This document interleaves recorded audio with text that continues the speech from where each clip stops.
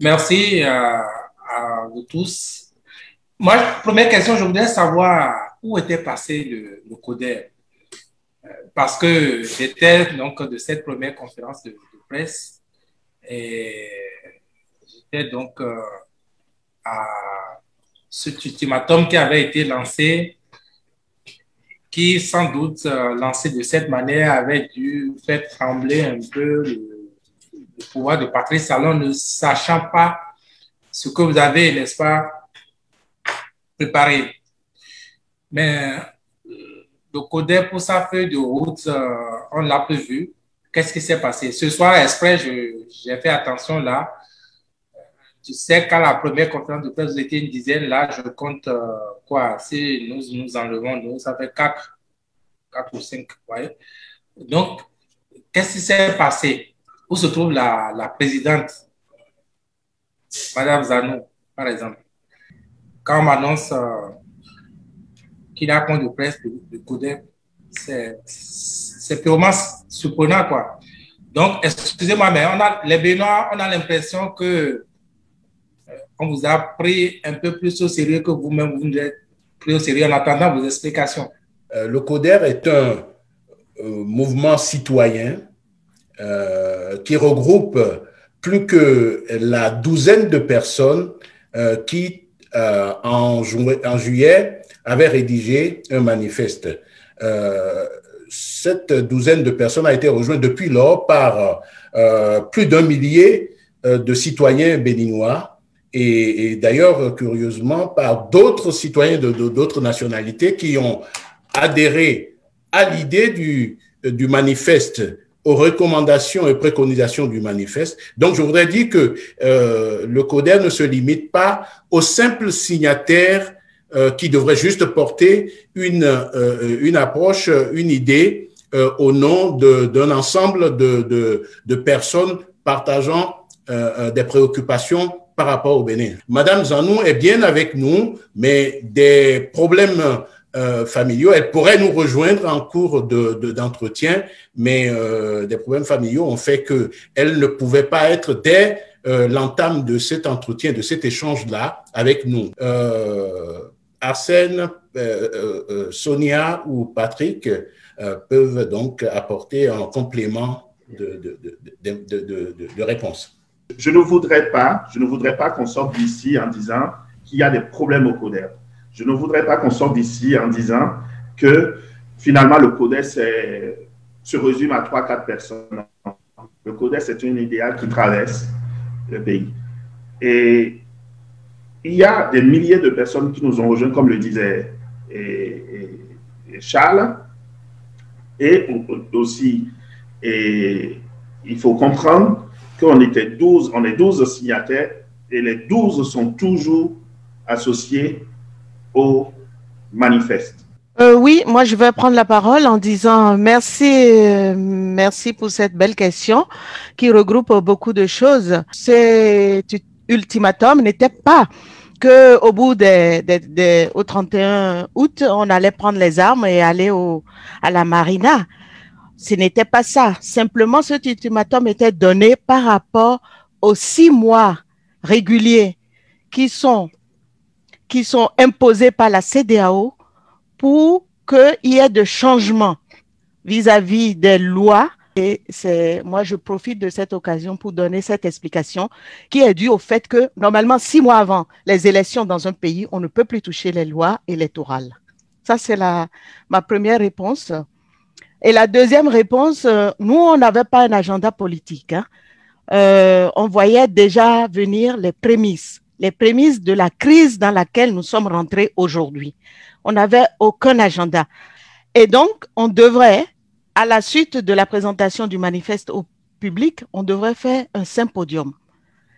Mais vous n'êtes pas sans savoir que nous avons été frappés par une crise sanitaire mondiale. Euh, voilà, euh, on était 12, mais les 12 n'étaient pas à toutes les conférences. Hein. Euh, on était souvent 6, 7, on n'était pas toujours 12 à, nos conférences de presse.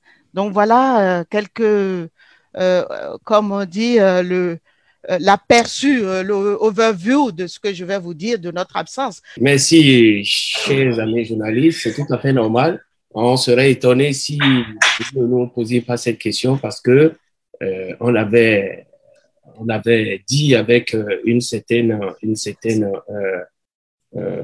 je dirais, force en direction du pouvoir qu'il fallait que euh, les assises nationales soient organisées euh, assez rapidement, en tout cas avant toute forme d'élection.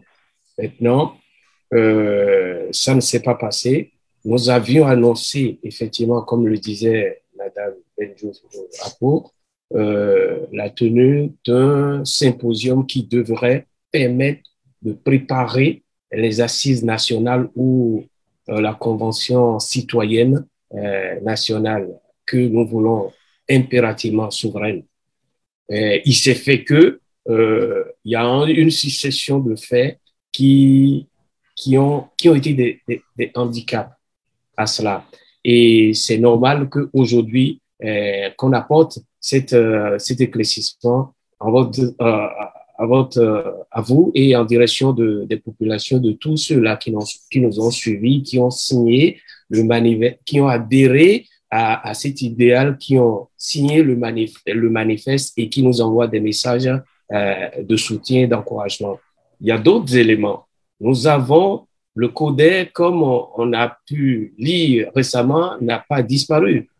Euh, dans le cadre de l'organisation de ces, de, de, euh, de ces assises, on a annoncé le symposium. Et pour que cela, cela, cela puisse tenir déjà le symposium, il y a eu une action, il y a une série d'actions que nous avons accomplies en direction euh, des, des différentes composantes de la nation, notamment les partis politiques, et en direction de certaines personnalités, de beaucoup de personnalités qui qu'on peut considérer comme des, personnes ressources. Beaucoup ont été présentes lors de la conférence nationale des forces vives de la nation pour que ce élan que nous, nous, voulons impulser aux assises nationales puisse déjà prendre corps par le biais de, des symposiums. Mais vous avez vu, c'est écrit dans le manifeste. Nous avons été formels là-dessus. On peut le relire et voir. Pour nous, il n'y a pas d'élection. C'est inacceptable et nous ne l'accepterons pas sans les assises nationales souveraines et inclusives. Quand je prends le processus électoral de Patrice Talon, ceux qui ont accepté, même s'ils n'ont pas obtenu le parrainage, ceux qui ont déjà le fait d'accepter cela, actent les actes inconstitutionnels que le président Patrice Talon a posés tout au long de son mandat, qui effectivement a pris fin euh, depuis il y a quelques jours. Du coup, est-ce que quand on rentre dans un schéma comme ça, on est légitime à dire, comme d'autres, que le 5 avril, il n'est plus président? Parce que en, instance, en acceptant cela, c'est un package. Ils acceptent cela. Tous ces, tous ces faits ne nous ont pas facilité le travail. Mais aujourd'hui, tout le monde se rend compte que ce que nous redoutions, la situation est là. C'est pour cela que je rejoins en finissant, je rejoins Patrick en finissant que le but de la sortie d'aujourd'hui, ce n'est pas de faire des procès. Ce que nous redoutions, c'est déjà là. Je voudrais qu'on se concentre sur le fond. Alors, euh, au-delà des réflexions, euh, aujourd'hui, on remarque bien que Patrice Talon n'est pas sans lorgner du côté de l'opposition. C'est clair, il ne dira pas non au ralliement de certains opposants. Et alors, ma question pour vous, au CODER, c'est qu'est-ce que vous faites au-delà des réflexions? Qu'est-ce que vous dites aux acteurs politiques pour faire de cette brèche une opportunité, vu que toutes les stratégies et de l'opposition et de la société civile et même du peuple souverain semblent avoir échoué? La seule stratégie, c'est le Bénin. C'est les filles et fils du Bénin. Et donc, moi, je dirais tout simplement aux hommes politiques, et donc c'est le métier, donc c'est le métier, c'est de dire, on est dans l'impasse, on est vraiment dans l'impasse. Et maintenant, accepter tous qu'on se retrouve autour d'une table et qu'on discute et qu'on remette le pays à l'endroit. On ne peut pas continuer à avoir une Assemblée nationale installée. Les représentants du peuple installé avec une cohorte de militaires. Ce n'est pas possible. On ne peut pas avoir une Sénat qui est une institution technique d'organiser les élections, être protégé par les militaires. Ce n'est pas possible. On ne peut pas avoir un pays de tension. Et on ne, on ne doit pas avoir un président, et comme le disent souvent si bien Madame Zanou, qui n'a pas de légitimité. Parce qu'un président qui n'a pas de légitimité, c'est tout le pays qui perd. Le prince qui a l'ensemble de sa population pour ennemi ne sera jamais en sécurité.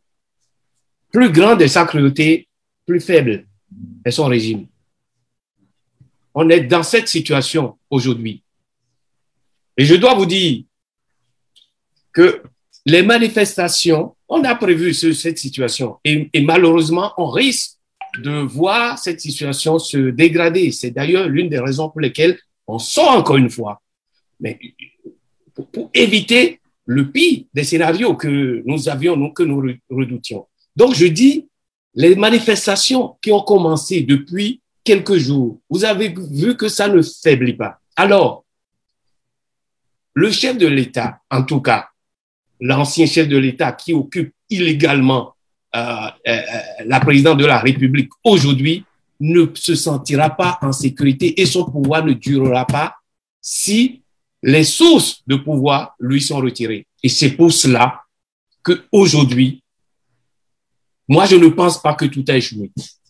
Parce que là, nous rentrons dans une, dans, dans une forme d'action où le peuple a décidé, est en train de décider de, de rétablir par lui-même la légitimité, la légalité. Le peuple est le vrai souverain. J'aimerais que les dirigeants retiennent que démocratie, pouvoir pour le peuple, par le peuple, république, service du peuple, nation avec le peuple, le peuple est au cœur de tout. Et nous vivons en ce moment l'expression d'un ras-le-bol de ce peuple-là. Face à cela, qu'est-ce qu'il faut faire? Je crois que le bon dirigeant s'il a à cœur le bien-être de son peuple, il s'arrête. Il s'arrête et il demande à parler avec son peuple. Depuis que euh, cet échange a, démarré, le CODER se gagarise. Euh, il y a de l'autosatisfaction, comme si euh, on a innové au, au CODER. Alors que ce que vous êtes en train de développer. Il y a d'autres qui le disaient depuis 2016, alors que le CODER n'est venu dans l'arène qu'en 2020. Et moi, à un moment donné, je me suis dit, mais ou bien c'est la Côte d'Ivoire qui l'a emporté sur l'agenda du, du CODER à travers euh, euh, Madame Zanou? Je suis devenu votre préoccupation alors. Est-ce que c'est l'ouvrage euh, le lancement de son ouvrage qu'il a occupé? Parce qu'elle est quand même l'une des figures emblématiques euh, du mouvement. Est-ce que vous croyez toujours au rétablissement de l'ordre démocratique au Bénin? Et qui doit le faire? À quand le rétablissement de l'ordre démocratique par le CODER, puisque c'est ça votre slogan. Nous croyons. Et si encore vous avez été à la sortie du livre, vous aurez compris, quand j'ai dit mon mot de fin, que lorsque je peux me retrouver avec mes frères africains, avec mes frères et sœurs du Bénin, le sommet sur lequel j'ai monté, c'est le sommet de la réforme du système partisan. L'Afrique a un problème sur la réforme du système partisan et que faire comprendre cela va être aussi un moyen de rétablir l'ordre démocratique. Nous avons besoin de la démocratie pour progresser, mais une démocratie adaptée à nos réalités socio-culturelles. Je me souviens avoir donné l'exemple de pays comme le Japon, démocratie, mais avec son empereur, la Grande-Bretagne, la France, l'Allemagne, tout ça, c'est des démocraties. Mais nous n'arrivons pas à inculturer la démocratie chez nous. Et donc, le CODER se bat avec des idées fortes et espère rétablir la démocratie qui est d'abord le pouvoir du peuple par le peuple. Et le peuple est en train de s'exprimer aujourd'hui. C'est un signal pour que les dirigeants comprennent que le peuple doit être au cœur.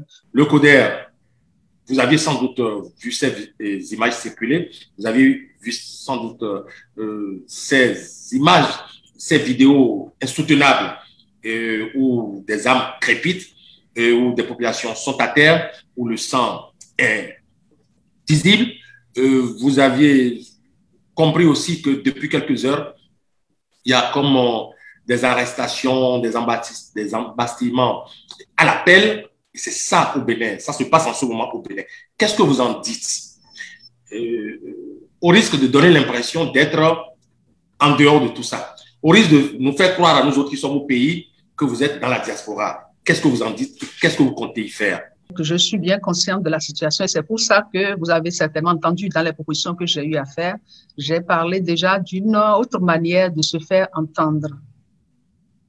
On peut se faire entendre autrement. Après avoir attiré l'attention des dirigeants que c'est le peuple qui est au cœur de tout ce que vous faites. La démocratie, c'est le peuple. La République, c'est le peuple. La nation, c'est le peuple. L'équilibre doit être maintenu. Quand je le martèle, je m'adresse aux dirigeants actuels. Donc, c'est déjà une proposition que nous faisons. Et deuxièmement, nous avons dit que le peuple, en voulant faire entendre sa voix, peut procéder autrement. J'ai donné l'exemple de tout le monde s'assoit sur le goudron, tout le monde s'assoit sur le goudron, personne ne pourra passer. Et là, vous ne cassez rien. Et on n'aura rien à vous reprocher. Donc, nous devons faire des propositions pour que les gens aillent dans un sens où euh, l'écoute sera plus facile et ça, au CODER, nous le préconisons, en plus de ce que nous demandons les assises. La, préconisation que nous faisons est l'essentiel, pour aller aux assises. Je pense que euh, n'est jamais de trop de repréciser que au jour d'aujourd'hui, tout le monde adhère à cette idée-là. C'est comment y arriver qui est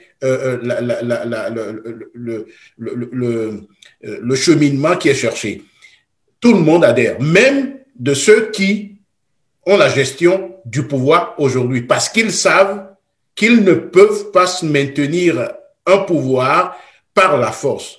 Un pouvoir qui se maintient par la force a perdu sa légitimité. Il n'y a pas d'autre issue que de s'asseoir pour euh, penser les plaies, pour réhabiliter ce qui a été un tout petit peu, je dirais, perverti. Aujourd'hui, moi, mon appel, c'est vers les dirigeants de notre pays. C'est à eux de prendre la mesure de ce qui se passe dans notre pays et de dire, on arrête là, on arrête les dégâts là. Et forcer pour aller aux élections, ça ne rime à rien.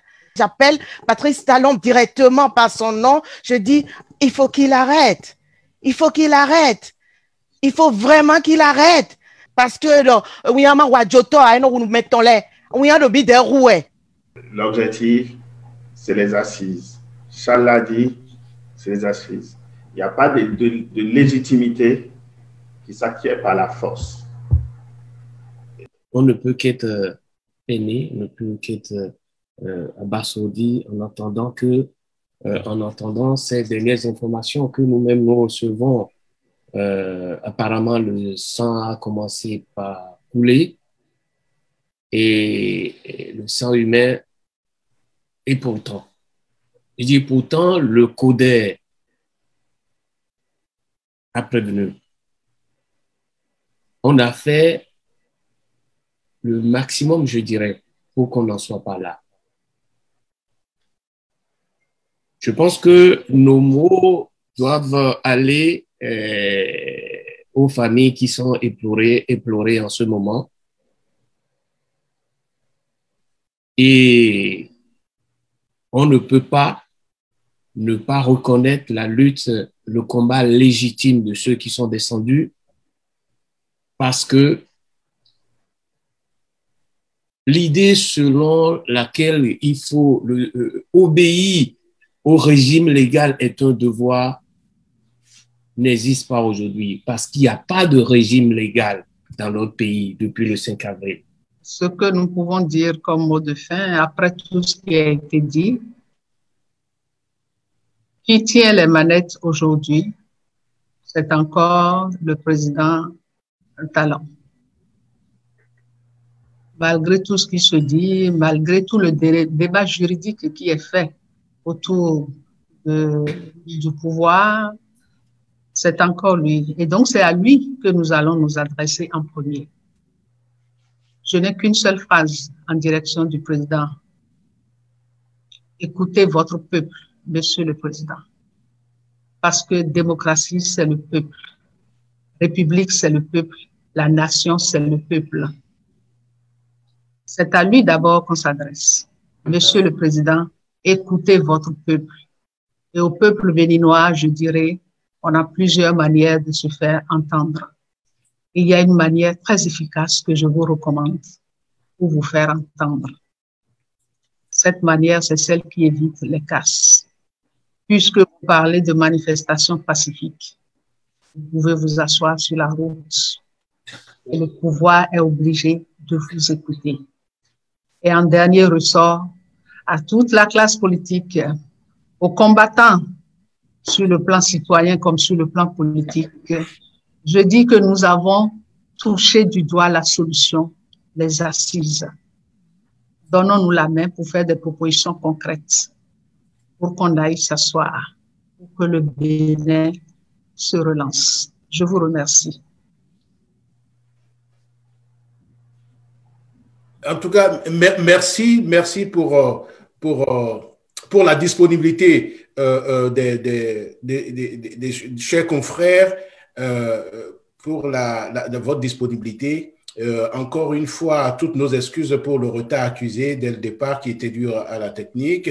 je voudrais vous demander d'être, comme vous êtes, vous en avez les prérogatives et les opportunités, de relayer le plus que possible l'appel du CODER à une sortie de crise. Elle est simple, elle est sûre, elle est la plus paisible. Ceux qui chantent la paix, c'est le moment de saisir cette opportunité pour aller à la paix. Et la paix passe par un rassemblement de tous les fils de ce pays autour d'une assise pour penser pour penser les blessures et réhabiliter notre pays.